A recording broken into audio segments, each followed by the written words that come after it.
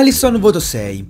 Per la seconda partita consecutiva non subisce quasi nessun tiro verso lo specchio della porta, salvo un'occasione nel finale più simile a un passaggio che a un effettivo tiro. Ancora una volta la porta rimane inviolata e il merito è sicuramente anche il suo.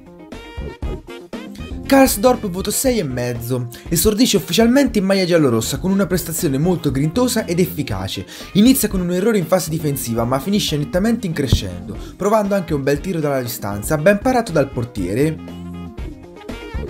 Fazio voto 6. A parte un contrasto pericoloso con Budimir, non soffre praticamente mai la sterile offensiva rossoblù, limitandosi a qualche passaggio con i compagni, riuscendo sempre con la giusta precisione.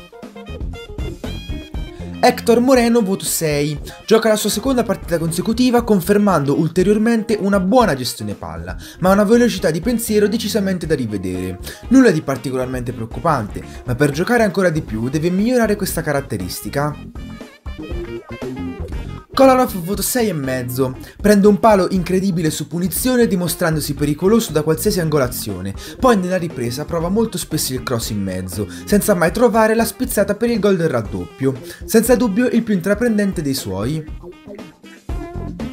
Gonalon voto 6. La maggior parte dei palloni passa sempre tra i suoi piedi e a parte qualche errore di disattenzione riesce sempre a gestirli bene. Deve però migliorare nella velocità di pensiero per non rischiare di perdere brutti palloni in momenti delicati della partita. Nengolan voto 5,5. In questa prima parte di stagione sembra che non abbia ancora trovato la giusta collocazione. Girovaga al centro sulla fascia, portando sempre la giusta dose di fisicità e grinta, ma rispetto allo scorso anno il suo contributo offensivo è peggiorato drasticamente. Speriamo ritrovi presto la forma migliore. Gerson voto 5,5. Dopo la buona prova con il Chelsea non riesce a ripetersi in campionato, nonostante il ruolo più congeniale alle sue capacità. Gioca con poca convinzione e poca grinta, limitandosi a passare la palla al compagno più vicino senza mai provare la giocata. Aspettiamo miglioramenti. Perotti voto 6,5. Trova il primo gol stagionale con una conclusione praticamente perfetta, che conferma la sua grande bravura nei tiri dal dischetto. Per il resto si diverte a dribblare i tenaci difensori rossoblù, riuscendo spesso ad entrare in area di rigore con personalità. Jacob voto 6. Nella recensione della partita ho criticato la sua prestazione complessiva, ma rivedendo alcune azioni mi sembra giusto premiarlo con la sufficienza. Corre con tanta grinta per tutti i 90 minuti, prendendo una traversa clamorosa e allargando spesso il gioco per i compagni più liberi. Kenji Sundar voto 5. Inizia con alcuni scatti pericolosi, ma sono l'unica cosa positiva di una partita vissuta in anonimato, troppo lontana dalla manovra di gioco della squadra. Ovviamente non bisogna caricarlo troppo di responsabilità, però poteva fare qualcosina di più.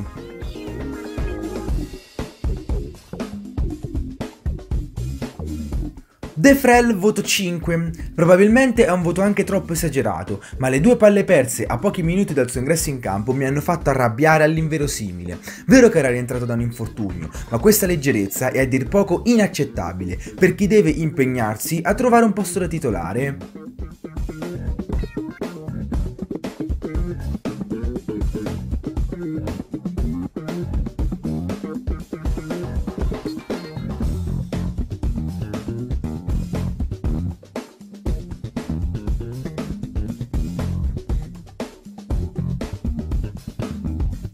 Mister Di Francesco voto 6, cambia ancora ben 6 undicesimi della precedente partita, mettendo in campo una squadra molto rimaneggiata e con alcuni elementi in fase di rodaggio. La vittoria è arrivata, ma con qualche sofferenza di troppo, da correggere per evitare spiacevoli conseguenze nelle prossime partite.